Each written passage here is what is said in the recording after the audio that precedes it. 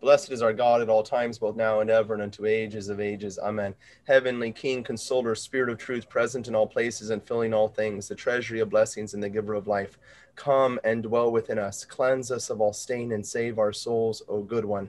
In the name of the Father, and of the Son, and of the Holy Spirit. Amen. All right. Our speaker this evening is a native of England. He is director of book publishing at the Augustine Institute and editor of the St. Austin Review. The internationally acclaimed author of many books, which include bestsellers such as The Quest for Shakespeare, Tolkien, Man and Myth, and The Unmasking of Oscar Wilde, Joseph Pearce is a world recognized biographer of many Christian literary figures. His books have been published and translated into Spanish, Portuguese, French, Dutch, Italian, Korean, Mandarin, Croatian, and Polish. Pearce has hosted two 13 part television series about Shakespeare on EWTN and has also written and presented documentaries on EWTN on the Catholicism of The Lord of the Rings and The Hobbit. He has participated and lectured at a wide variety of international and literary events at major colleges and universities in the United States, Canada, Britain, Europe, Africa, and South America. And it is a pleasure to welcome back to the Institute of Catholic Culture, Mr. Joseph Pearce. Welcome, Joseph. Good to have you with us tonight. It's wonderful to be with you. The Institute of Catholic Culture is such an inspiration, and I feel so honored and privileged to be uh, to be part of you, at least on, on occasion. So it's good to be back for this first of two lectures on Chesterton's The Everlasting Man and Father Hezekiah actually showed held the book up. This is actually the book I will be uh, reading passages from. So if you actually have the one that Father Hezekiah uh, held up, which is the Ignatius Press edition, when I give page references, you'll be able to actually to, to find it. If you have another edition, good luck. Um, so before um, before I get into the text of the work, um, I want to say something about the background to the Everlasting Man because there's a whole saga behind the writing of this book, which is actually very interesting. And it begins with the beginning of the publication uh, of H.G. Wells's book, The Outline of History, which began to appear in installments from 1920 onwards. And H.G. Wells is basically uh, uh, an atheist, a scientistic believer in progress, uh, a Darwinian, and very anti-Christian, in fact, anti all religion.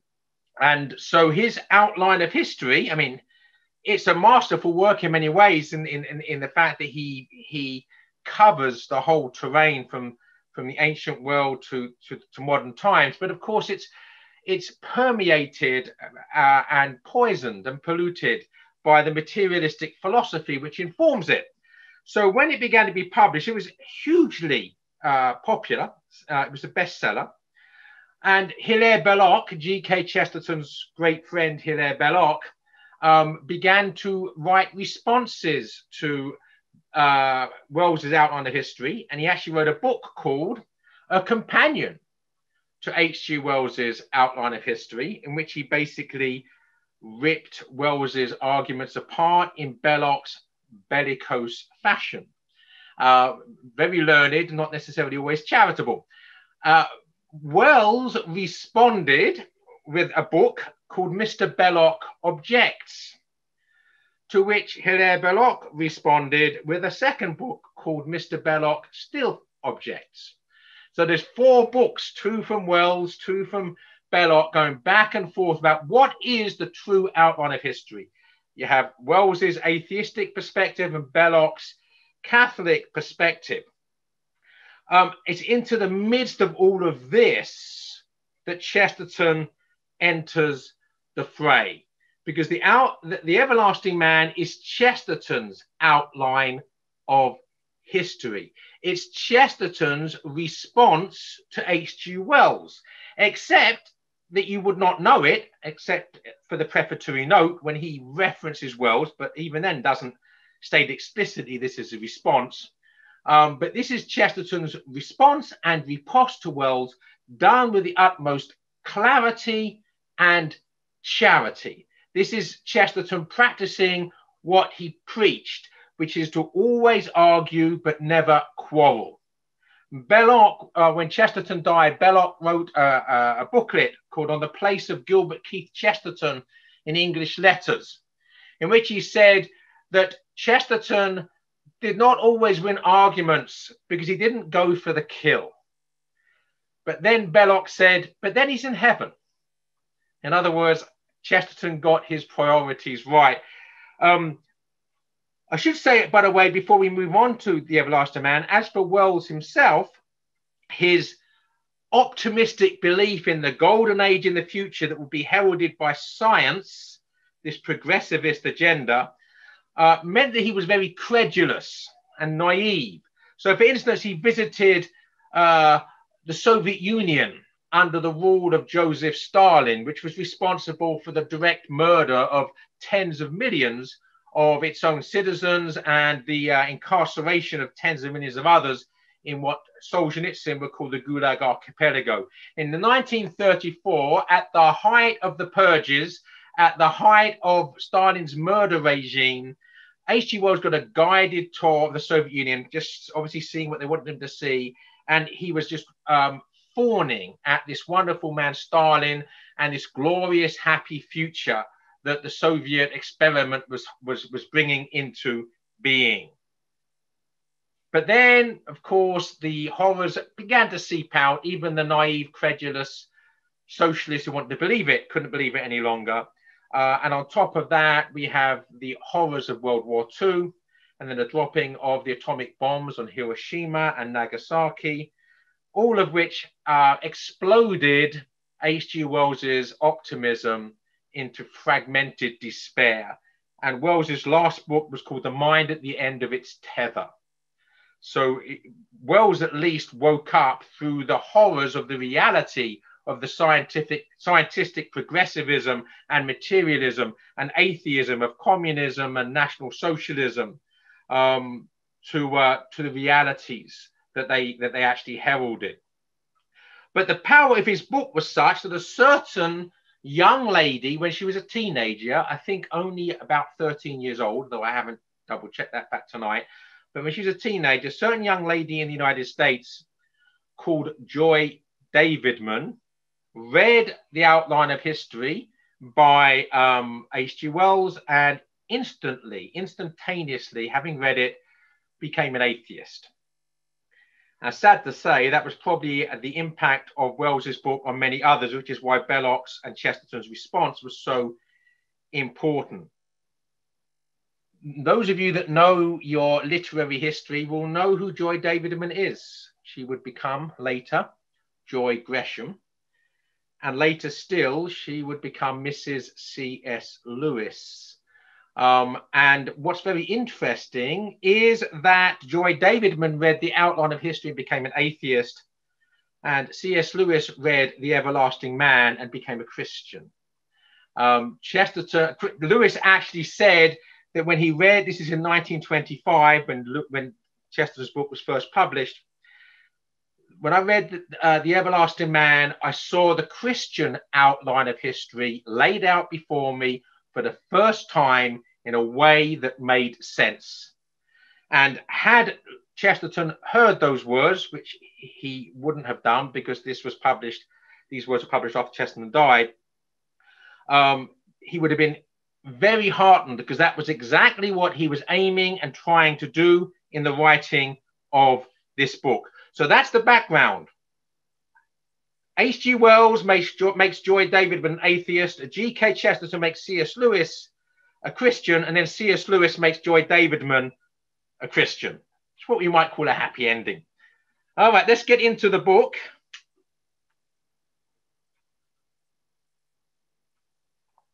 The book is, is, is divided into two halves.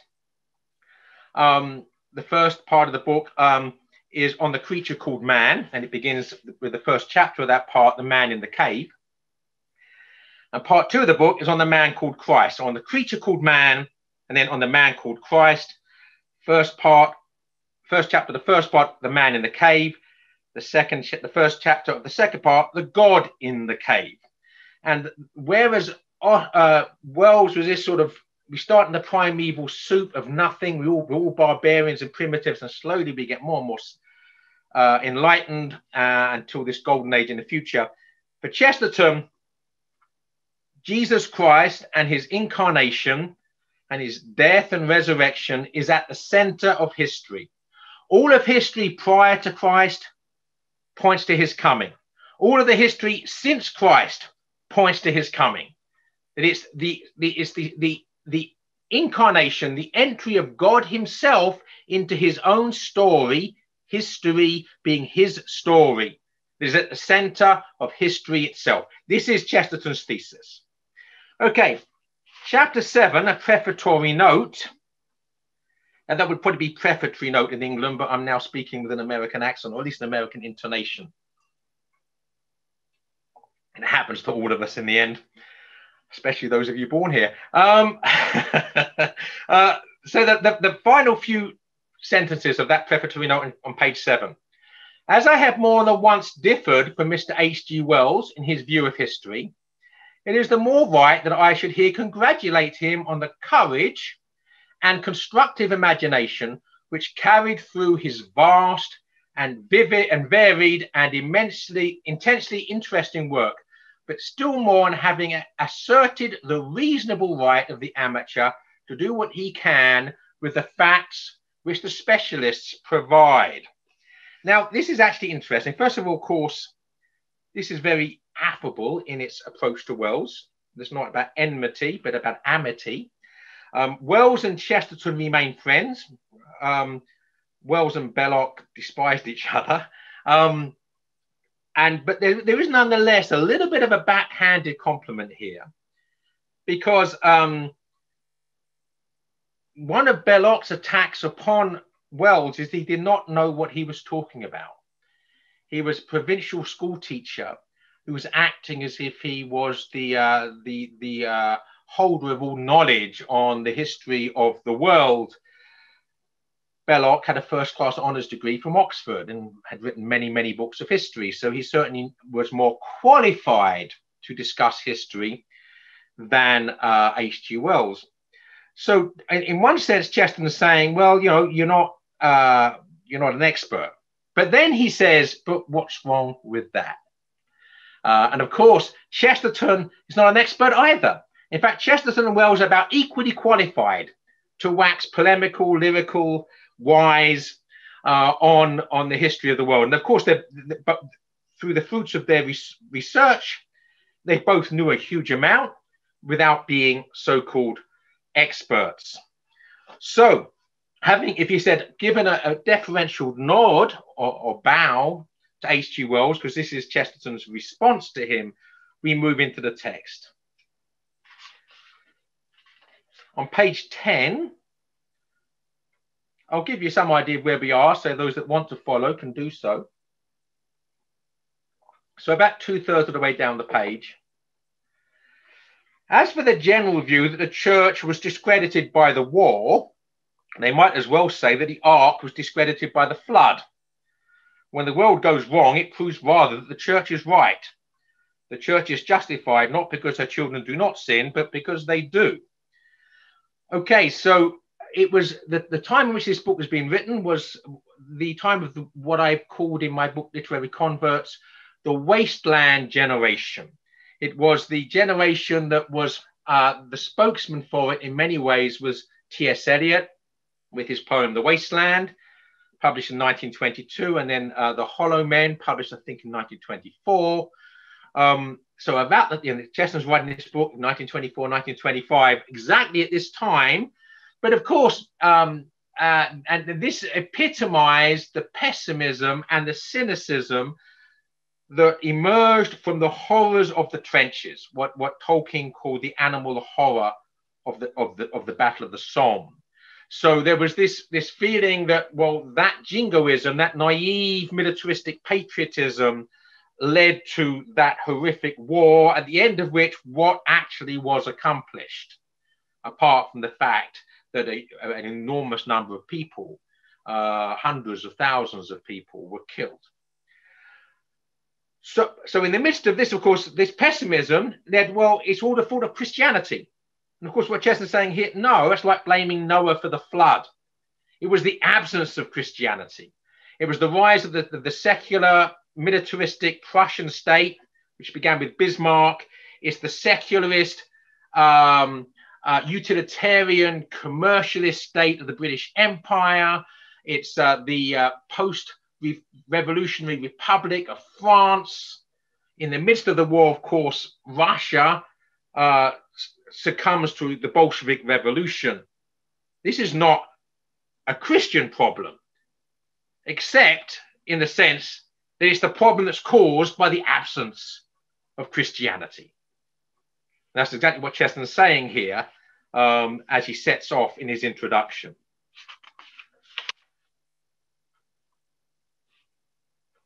Okay, let's uh, move on.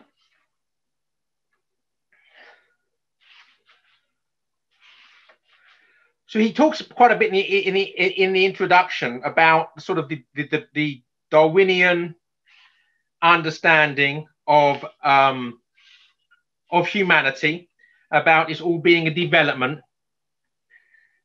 And there's the origins of the universe, and the origins of life, and the origins of man.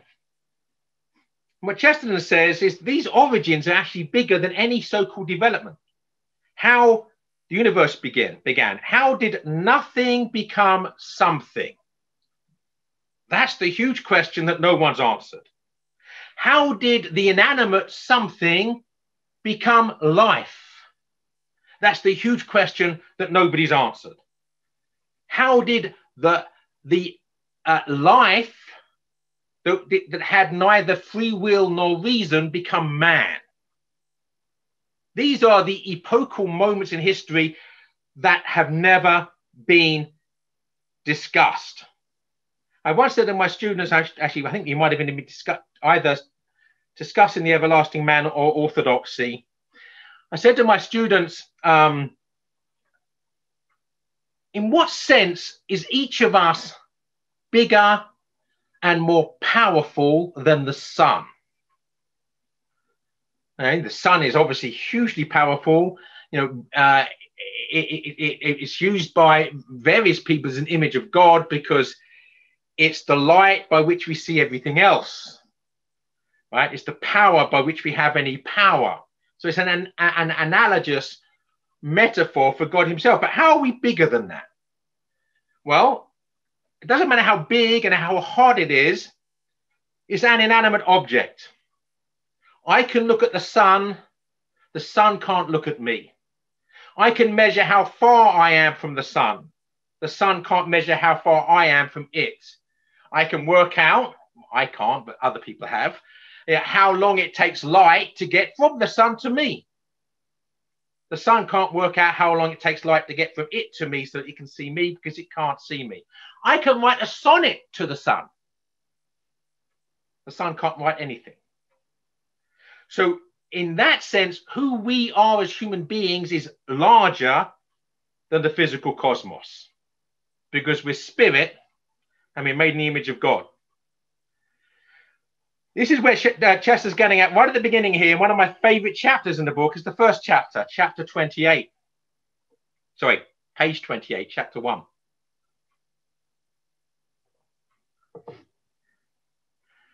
And I'm going to read him because at his best, he's just great. So this is the new paragraph on page 28. In fact, people have been interested in everything about the caveman except what he did in the cave. Now, there does happen to be some real evidence of what he did in the cave. It is little enough, like all the prehistoric evidence, but it is concerned with the real caveman and his cave, and not the literary caveman and his club. And it will be valuable to our sense of reality to consider quite simply what that real evidence is and not to go beyond it. What was found in the cave was not the club, the horrible, gory club notched with the number of women it had knocked on the head. The cave was not a Bluebeard's chamber filled with the skeletons of slaughtered wives. It was not filled with female skulls all arranged in rows and all cracked like eggs. Was actually filled with art. And this is the point.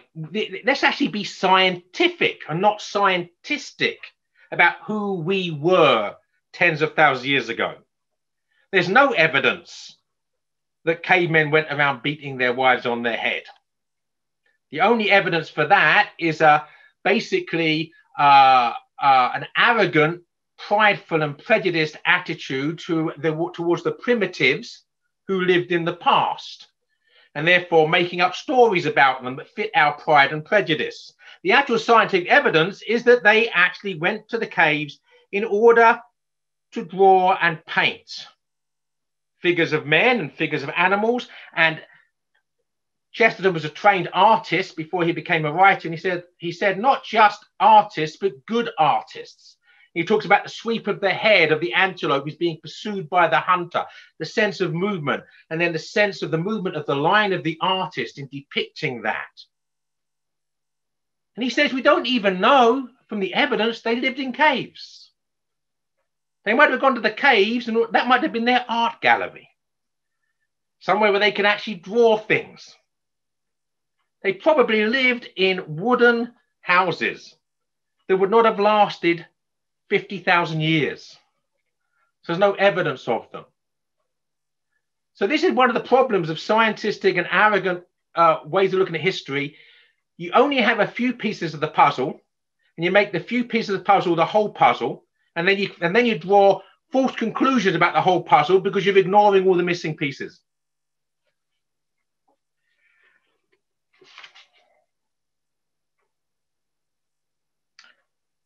all right well, we, will leave the caveman i don't like leaving the caveman because uh, it's one of my favorite parts but um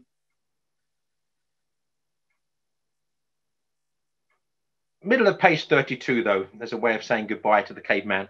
The pictures do not prove even that the caveman lived in caves any more than the discovery of a wine cellar in Balham. Balham is a part of South London, for those that don't know. The pictures do not prove even that the caveman lived in caves any more than the discovery of a wine cellar in Balham, long after that suburb had been destroyed by human or divine wrath, would prove that the Victorian middle classes lived entirely underground. The cave might have had a special purpose, like the cellar. So don't draw universal conclusions upon partial evidence, basically. Um,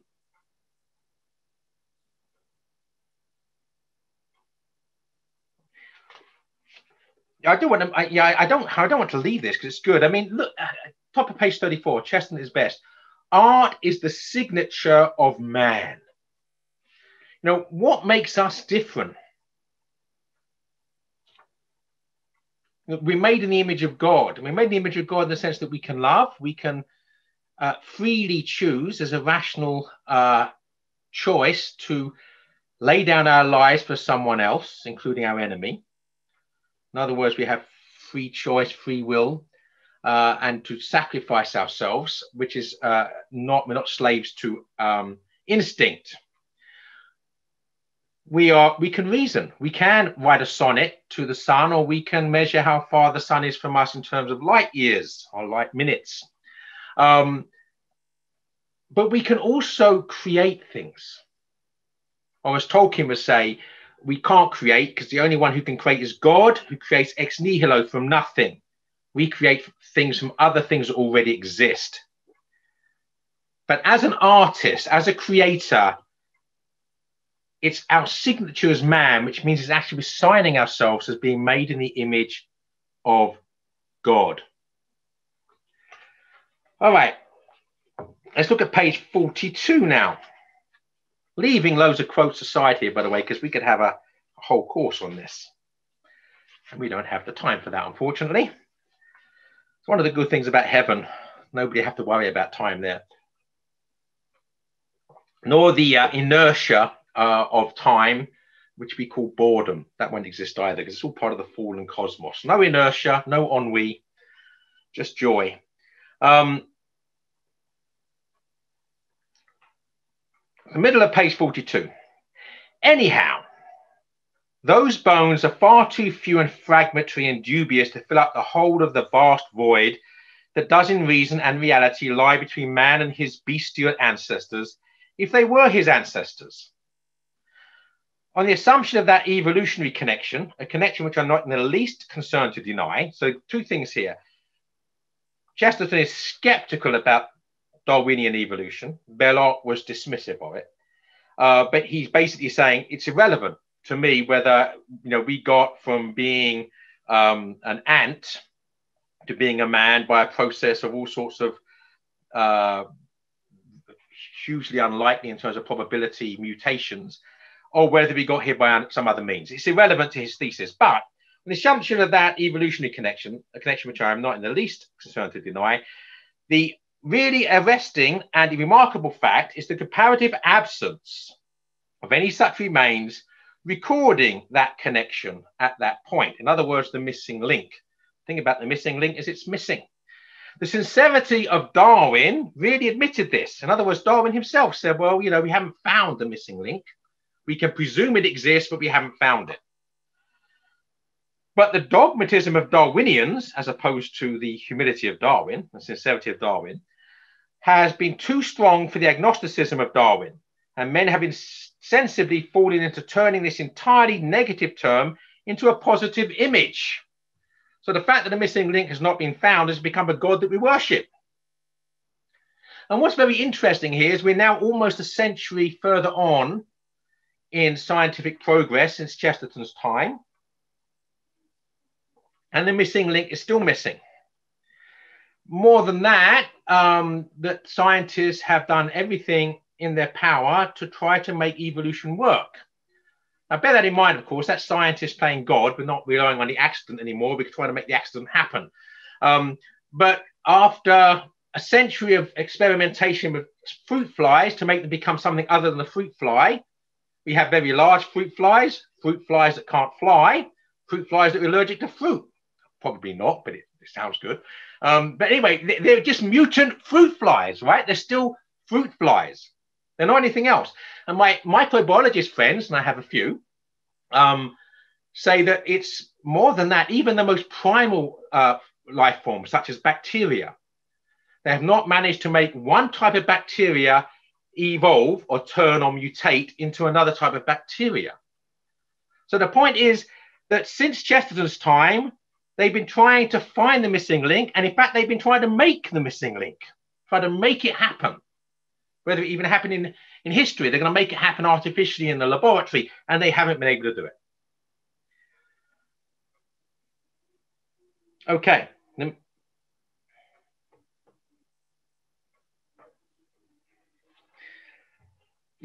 Page 43 here, towards the bottom, about 10 lines from the bottom, 12 lines from the bottom.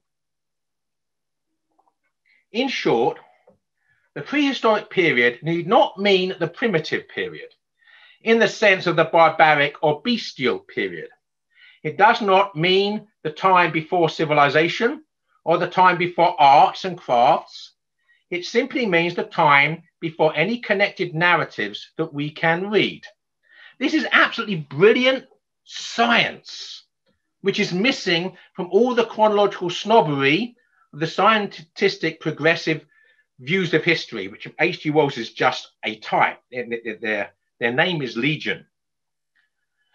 All that prehistory means is we do not have any remaining documentary evidence.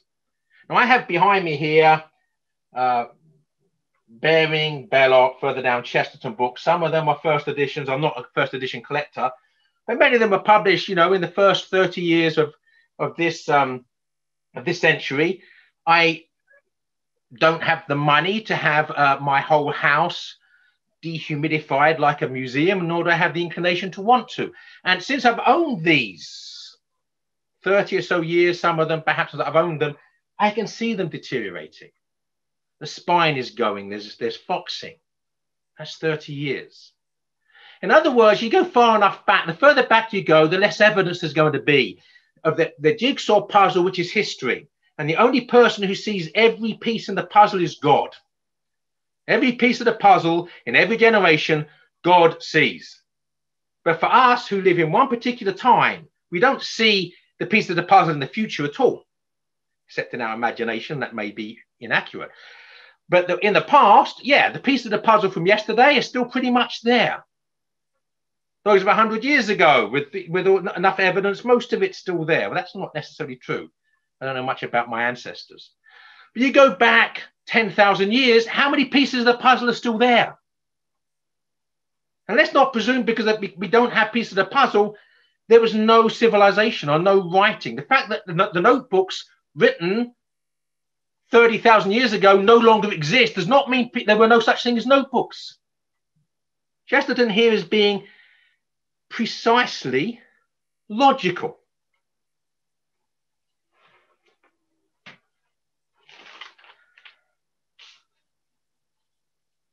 Let's go on to like page 58.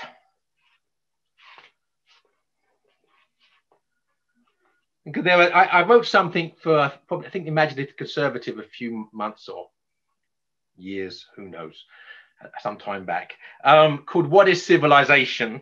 And I said, you know, there are two, two. The definition of civilization on on uh, Wikipedia um, is that basically it's all about complexity and taxation and big government. And I said, well, that's civilization. It can go to hell. In fact, it's already going there. But there's other ways of seeing civilization, such as Christendom, right? Whereby people live in accordance to an ethical value and they prize the good and the true and the beautiful and they produce great art. Two different ways of seeing civilization. Chesterton's using the first here just by way of making a point. So about eight lines from the bottom of page 58. But the despotism in certain dingy and decayed tribes in the 20th century, I love that, dingy tribes in the 20th century, you have to go very far back in the past to find this, does not prove that the first men were ruled despotically. Does not even suggest it. Does not even begin to hint at it. If there is one fact we really can prove from the history that we really do know, is that despotism can be a development, often a late development and very often indeed the end of societies that have been highly democratic. A despotism may almost be defined as a tired democracy. A fatigue, as fatigue falls on a community, the citizens are less inclined for that eternal vigilance which has truly been called the price of liberty. I mean, look at the despotism of communism or the despotism of Nazism. It's the decaying fruit of a couple of centuries of decadent Enlightenment philosophy. And it's only possible by an, in an industrialized society, building theories upon industrialism. These despotisms are a consequence of the complexity of civilization. So despotism is not something that belongs to the primitive. Of course, you can have a tyrant in a family, right? So, um, but the, the Chesterton's point is that, that despotism can be a consequence of too much progress and not just a question of barbarism. Um, let's move on to page 60.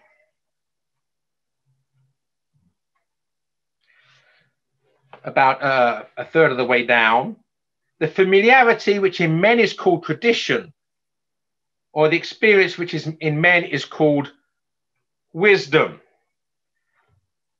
If some ritual of seniority keeps savages reverencing somebody called the old man, then at least they have not our own servile sentimental weakness for worshipping the strong man.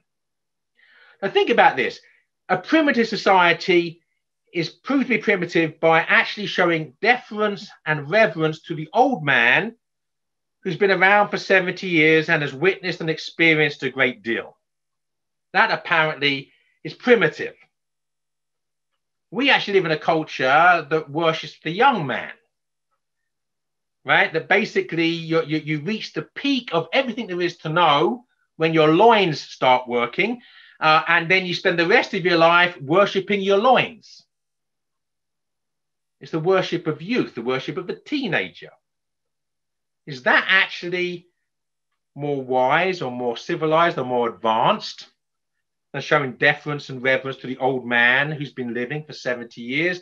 I can tell you a few things about what he's experienced, not least the stupid mistakes you're currently making as a 20 year old, which he did himself when he was 20. But here it's not just the young man. Of course, the cult of the teenager hadn't arrived when Chesterton wrote this, but the cult of the strong man had. And in some sense, this is prophetic. 1925, um, we have Mussolini in Italy, the fascist leader. He's in power. Hitler, though, is not yet in power. Um, Stalin is not yet the, the, the, the, the force he's going to be. But the strong man, what Hitler, Hitler can see it coming because of the philosophy of Nietzsche and the worship of the Übermensch over the Untermensch, the Superman over the subhuman. He can see it coming, although he's writing this eight years before Hitler comes to power. And what is more barbaric? The primitive reverence for the old man or the ultra modern worship of the strong man? And remember Wells, nine years later, sitting at the knee of Joseph Stalin the progressive dupe. All right. What else do I have to skip for the times we have left? Let's go on to page 87.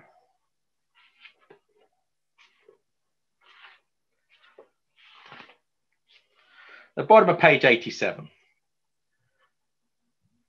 They are obsessed by their evolutionary monomania that every great thing grows from a, a seed or something smaller than itself. They seem to forget that every seed comes from a tree or from something larger than itself. Now, there is very good ground for guessing that religion did not originally come from some detail that was forgotten because it was too small to be traced. Much more probably, it was an idea that was abandoned because it was too large to be managed.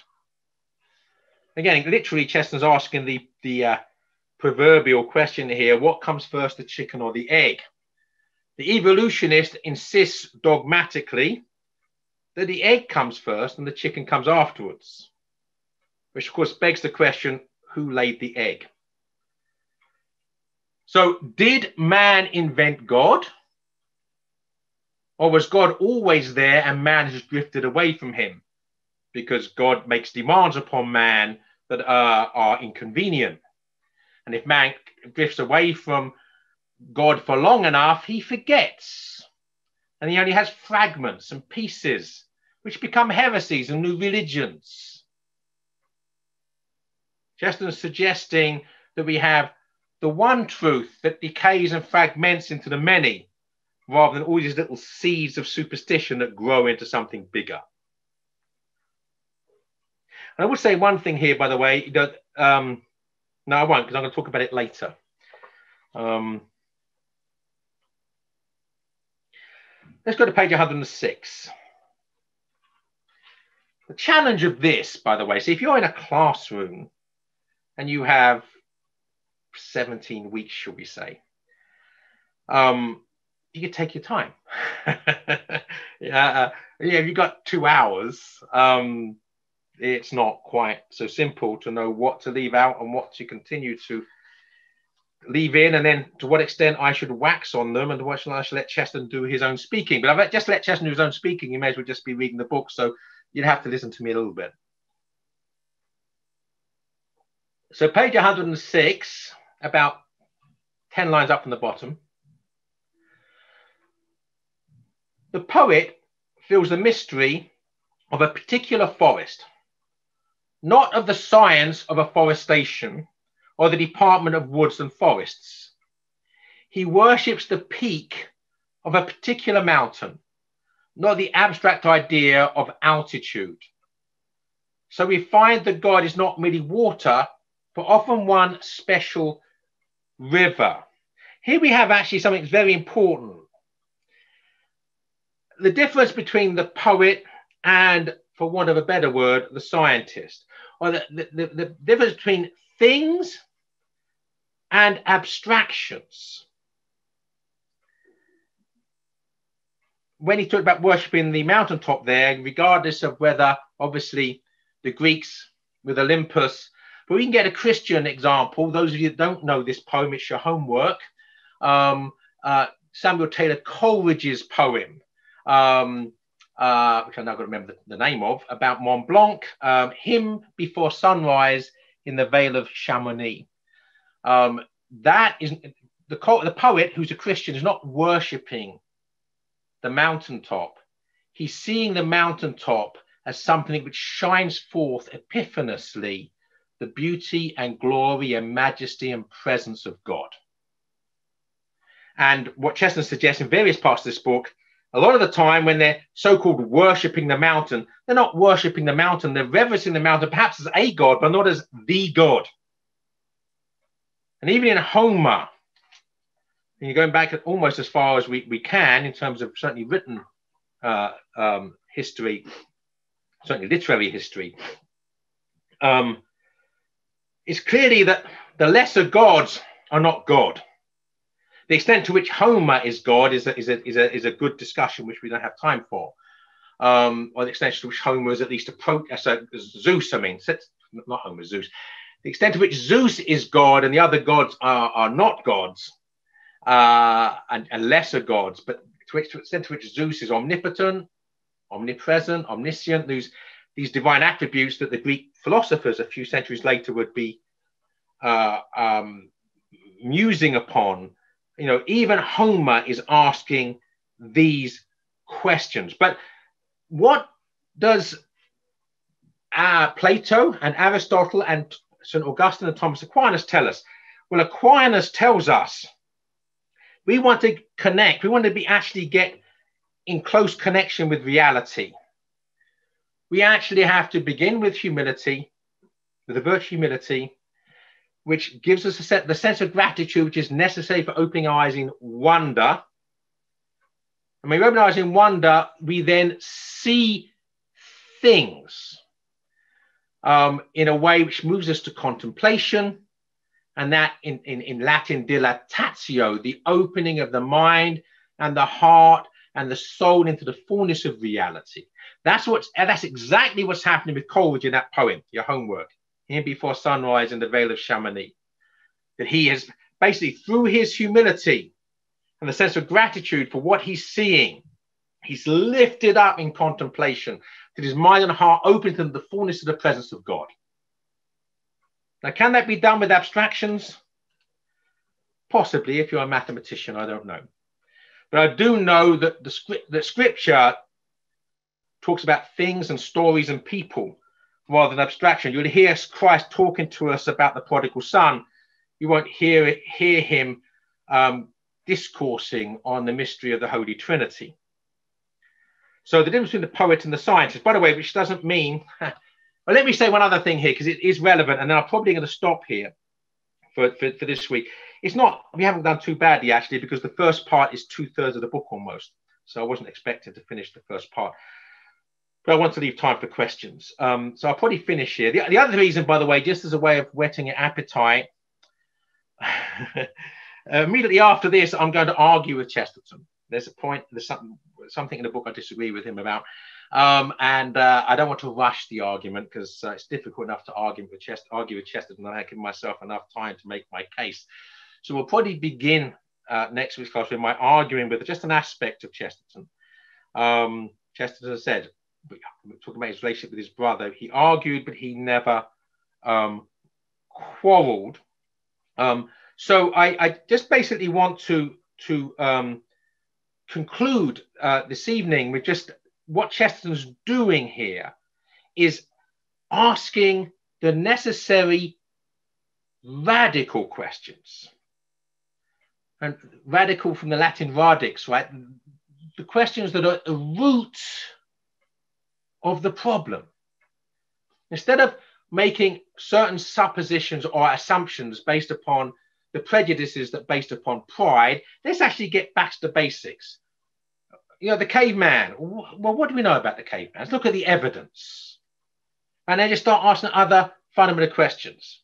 What did come first, the chicken or the egg? Why do we presume the egg came first? Um, so the, so the, there's, a, there's a real Chesterton at his best in this, where he is doing something that he urges us to do. That if you want to see things for the first time as they really are, you have to stand on your head. And the reason for that is that you might have been standing on your head for the whole of your life. And without having the humility to see it afresh for the first time, you will think the upside down view of things is the right side up view of things. So try it. The paradox of life. And of course, what, what he's talking about there ultimately is conversion. And one thing that Chesterton's doing in this book is trying to convert those who might have been perverted by H.G. Wells, his book, The Outline of History.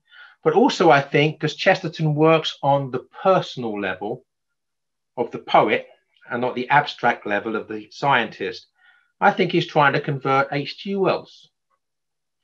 Um, he may not have been successful, but it was certainly a noble, noble endeavor and worth the effort. And of course, we are all beneficiaries of the fruits of that noble Labour. And at that point, I'm going to stop it. They will begin next week with an, uh, uh, uh, my little argument with Chesterton, which I shall then probably say mea culpa, mea culpa, mea maxima culpa immediately afterwards. And then we'll get on to the, even more of the great stuff of the everlasting man. Thanks so much, everybody. If you have questions, I'll be hanging around to take them. Keep them easy. Great. Thank you so much, Joseph Pearce, for being with us tonight. That was a fantastic introduction. Um, and I'm sure we'll all be returning next week for the second part. Mr. Pearce, you were referencing page numbers for a particular edition of The Everlasting Man. Do you mind holding that up and sharing with us what that is for those who might want to try to procure it in the next week or get it and rewatch your lecture? Yeah, I did see a question in the chat as well, which is probably cheating because they weren't supposed to do that about what should we read for next week. And obviously, it's a two part lecture on the book. So if it's possible for you to read the remainder of the book, by next week because that's what I'll be covering. Obviously, I won't be covering all of it, but that's what I'll be picking from. So this is it. This is the Ignatius Press edition of the Everlasting Man. That's what the cover looks like. They, well, I know they probably have more than one edition. Ignatius Press publishes five million books. Um, this is the uh, 1993 uh, edition, by looks of it. But anyway, there we go. All right. Thank you so much. Let's see if we have, do we have any questions here from our video participants of Mr. Pearce? Yes, Dr. Pepino. Right. Yes. Just a quick question regarding the the, the impact of um, this astounding conversation, really, a three-way conversation between Wells, Belloc, and Chesterton at the time. Was it a big fracas in the newspapers? And was it followed by um, conversions or abandonments of the faith at the time in Britain in the 20s, in the same way, say that the Oxford movement and the conversion of Newman in his day caused a fracas and also influenced many young Britons uh, to convert? Great, great question. Um, first of all, as regards the media attention of, of the fracas, um, a great deal. Uh, uh, Wells's book was an international bestseller. Ah. Um, Belloc, if you like, rode that wave, and he probably sold quite a few books. That wasn't his motivation, but that was uh, uh, uh, probably, no doubt, a very pleasant byproduct. Um, but one good thing about that, from the Catholic perspective, it was really uh, the publication of Chesterton's uh, Belloc's two books uh, reposting uh, Wells that that helped through the sales of those books helped to launch a, a new Catholic publisher, uh, which we all know, or many of us will know, as Sheed Ward. So Sheed Ward then did marvelous work for, well, the rest of the century. Uh, but it was basically, they were launched, I think, in 1925. And these books by Belloc were either the first or some of the first titles they published. They were hugely successful and they put Sheed Ward on the map. So that's certainly a factor there. There's no doubt at all that the Outline of Sanity by Wells uh, added to the atmosphere of skeptical and cynical agnosticism come atheism that was uh, pervasive in the interwar years. And yet, of course, one consequence of that, which you know, which we always need to be aware of, is that once the atmosphere becomes pervasive, it's great territory for evangelization. And Chesterton and Belloc and others were very um, successful in those interwar years in bringing converts into the church. And I'm actually finishing a book now on a history of Catholic England. And between the end of World War One and I think 1926, so exactly this period, there were on average uh, more than uh, 10,000 adult conversions to the faith every year, um, which of a population of England and, and, and you know the Catholic population being what it was is actually phenomenal. I don't know what the figures are now, but it'd be much smaller. So, uh, and again, as regards to strongman and fascism and communism and capitalism, the social teaching of the Catholic Church, which you know derived from obviously ultimately the scriptures and and St Thomas and the rest, but particularly Leo the Thirteenth's encyclical Rerum Novarum, and then Pius the uh, Pius XI in 1931 with Quadragesimo Anno. This uh, offering and what Chesterton and Belloc called distributism, this offering um, a, a Christian Catholic alternative to fascism, Marxism, or what we would now maybe call globalism. Thank you. Thank you very much indeed. My pleasure. Oh, I see Adrian has a, a question. Go ahead and take yourself off mute, Adrian. So, Mr. Pearce, first of all, I'm a huge fan of your work. Um, and but one thing I always struggle with is um, reading Chesterton. I enjoy reading him, but I struggle to read him. I tried listening to The Everlasting Man on audiobook, and I it just I couldn't follow it. And so I think I'd be better off reading it, but it was it's a struggle. It's a great question, Adrian. I'm so pleased you asked it, and there's, there's various ways of answering it. First of all, that most people these days expect someone to get to the point. Um, Chesterton seldom gets to the point. He takes you for a walk. Uh, and he'll take you in all sorts of places that have nothing whatsoever apparently to do with the walk. Um, uh, so you'll get you're getting frustrated if you want the answer to the question. You have to actually have the patience to perambulate. Uh, you have to just want to go for the walk and just enjoy the presence of Chesterton, uh, going wherever he wants to take you. And he always does bring you back to the point, but you must never be in a hurry, which in itself is a good thing. But I would also say that he does have a, a style which is not for everybody. And I don't, I, I, say this, you don't, it's not a mortal sin not to like or read Chesterton. So don't get hung up about it. No, he, he has a certain writing style that's not for everybody.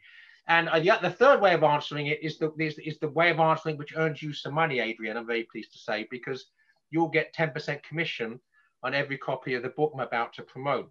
Um, but you know, I do actually sometimes say that, the, that one of the best ways of being introduced to Chesterton is to read my biography, Wisdom and Innocence, A Life of G.K. Chesterton, because it does take you through Chesterton's person in the sense of, you know, from his childhood through to his death.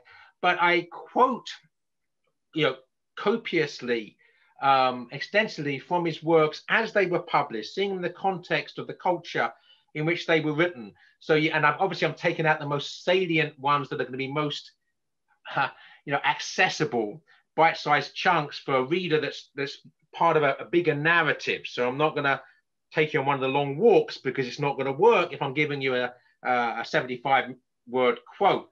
So I, am saying it's actually not just to sell copies of my book, but I'm like Belloc, I'm happy to have the byproduct. But I do actually think that um, my, my book, Wisdom and Innocence, The Life of G.K. Chesterton, is a very good introduction to Chesterton for those who are struggling with getting him, you know, uh, having him neat as opposed to on the rocks. Or with, or with tonic water even. Thank you. Yes, I love that image of kind of just going for a walk. And uh, I think that's probably helpful if people approach it in that way. Um, I want to take this question coming in from Alexander. Alexander writes In Chesterton's view, what are some of the major positive aspects of modern scientific progress? Despite its H.G. Wells type hubris, it seems to Alexander that at minimum, um, it's helped make the essentials of life easier to allow more time for contemplating God. Um, but did Chesterton see that, or did he speak of, of any kind of positive side of it? Well, I'm going to be. I'm, I'm going. To, it's another great question, by the way. I feel so privileged to be part of a group that asks questions of this nature. Um, but I'm going to answer uh, in, in, in my own Luddite voice before I answer in Chesterton's voice, which would be much less uh, abrasive. Uh, you know, the, the, the, the idea that um, that modern technology allows us more time for contemplation may be true. Um, but for most of us, it allows us to spend time with our gadgets instead of our God, uh, to be distracted with our phones and with everything else and looking at screens all day long uh, and never actually having one moment's silence. Now, uh, that's of course, that's it doesn't mean we're not forced to do that, but I do think these things are addictive. I think distraction is addictive. Um, so uh, I remember having a conversation, uh, someone with Ashley uh, yesterday, someone saying, well, I'm happy for to have my washing machine because I would, wouldn't want to be down by the river, you know, beating the, the wood all day. I said, well, that's when all the women got together and chatted, right? They probably look forward to that every day, right? To get down there, talk to each other while they're at it, they're just doing something while they're doing it, right? And, and now they, they're doing that instead. I mean, what's preferable? So that's my Luddite voice. But now let me answer for Chesterton, I don't want Chesterton to take the blame for me.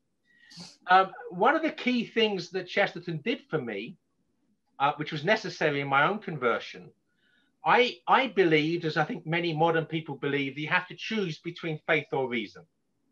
That you have to choose one or the other. That faith is obviously irrational, but maybe comforting, and, and, and reason is, is uncomfortable, but perhaps real, right?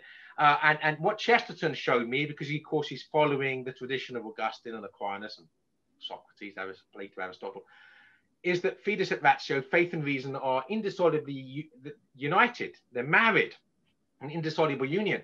And it was that realization that actually I don't have to abandon my reason to, to embrace faith.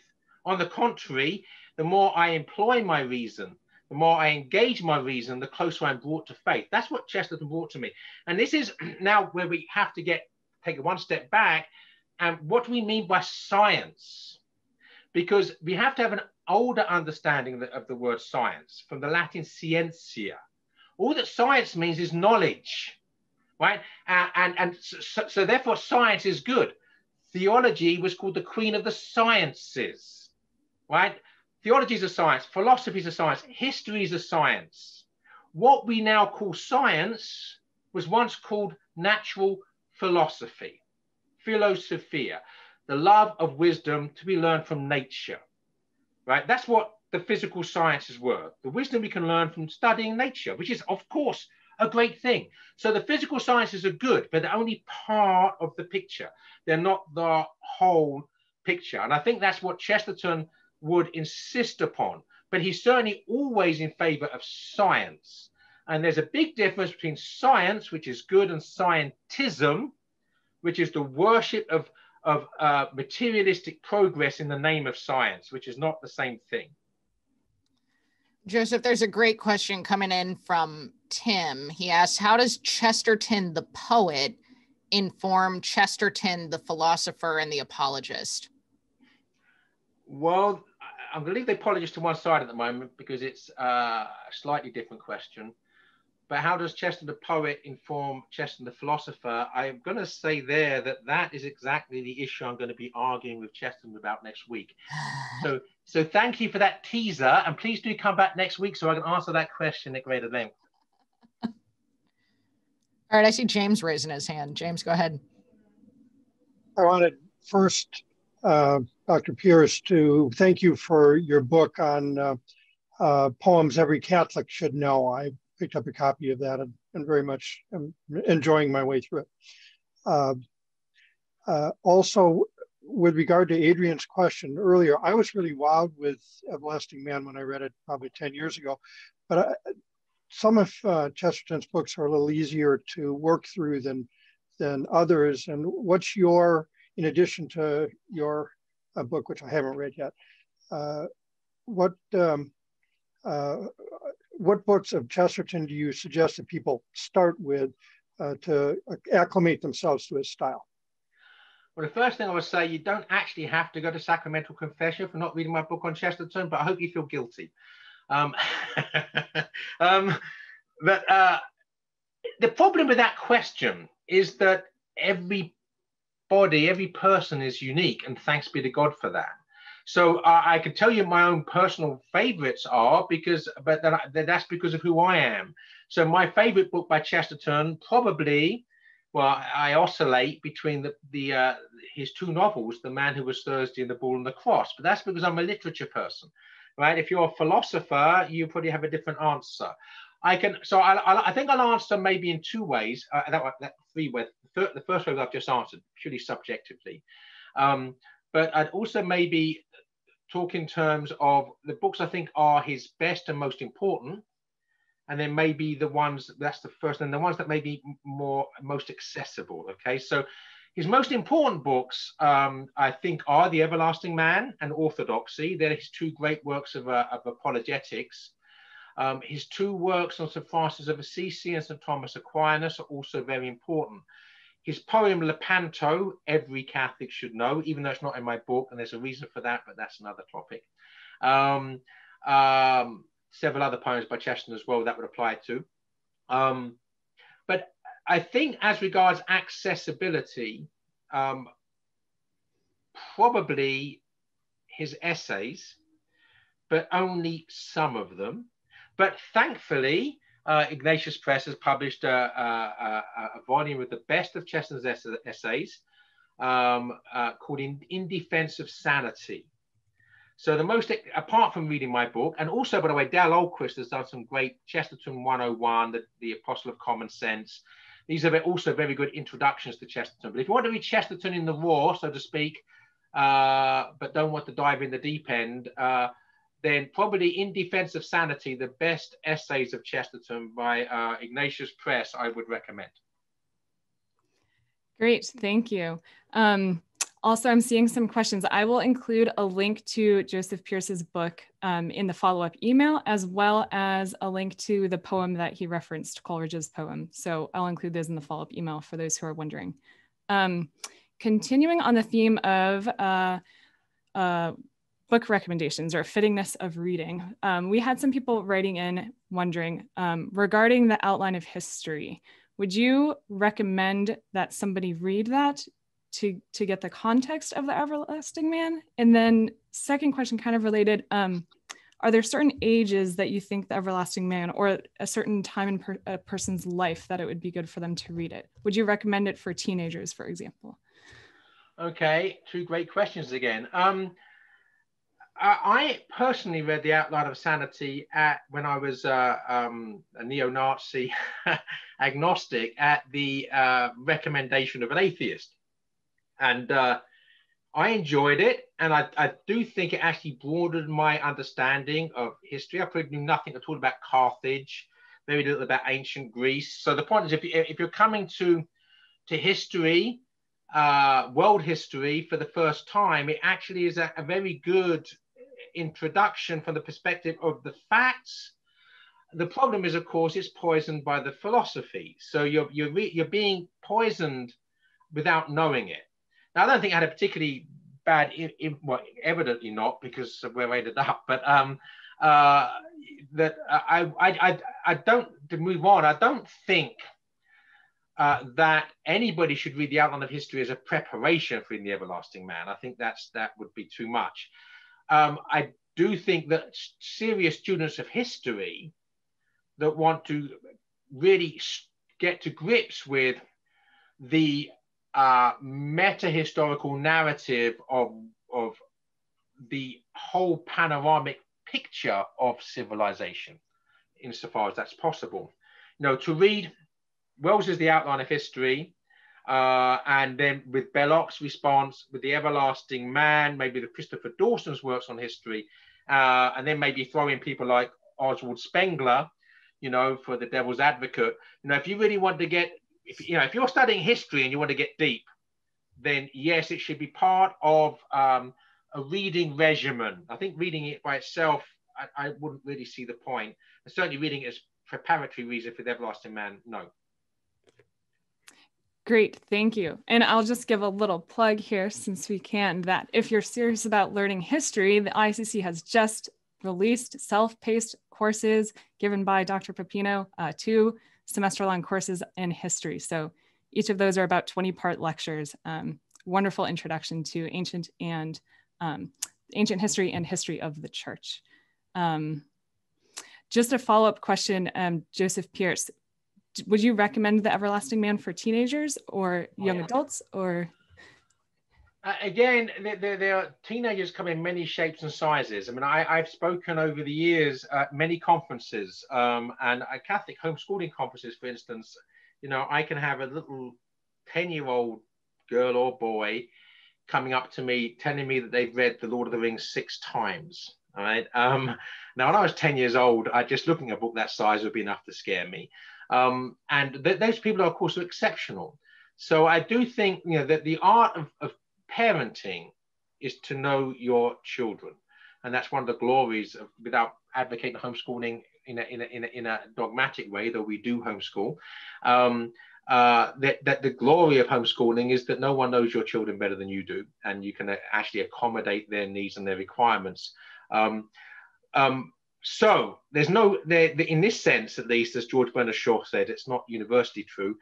Uh, uh, the only golden rule is there is no golden rule. Um, so as regards, you know, whether people should read the Everlasting Man, I think it's true.